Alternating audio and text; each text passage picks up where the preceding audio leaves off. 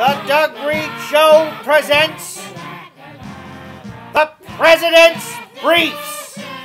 And now, the President of the United States of America, Donald J. Trump.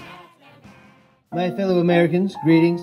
I, your President, am running for my second term in office, as you know. So please vote Trump this election season. I think your days are numbered, pal. Uh, I'm surprised you can count. Why don't you go start counting sheep, Sleepy Joe? well, I don't think the American people can count on you. Oh, great comeback, Patsy.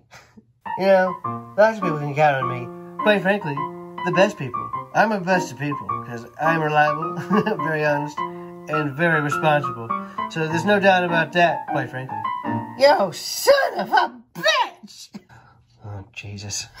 You are no good bastard! Uh, you know how long I've been looking for you. Listen, baby, I can explain. Like almost four years, you stupid ass. Baby, please. You think you can love on me and then just leave like that in front of the reporters? And just fucking leave? Listen, baby, I can explain. Listen, you can't just grab my pussy and then just. Looks like karma came right back at you, my marshmallow-headed friend. You're terrible at insults, Joe. Not only that, but you're two-timing me. Listen, babe, they don't mean a thing. Don't you think you can bang me, you fucking piece of shit? I hate you so much.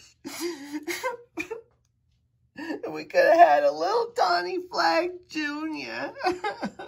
we can forget it. Uh, we hugged one time. It's not like anything happened. That's it. I'm leaving you. Oh my god, this is gonna totally kill the suburban vote. it looks like you're having a hard time right now.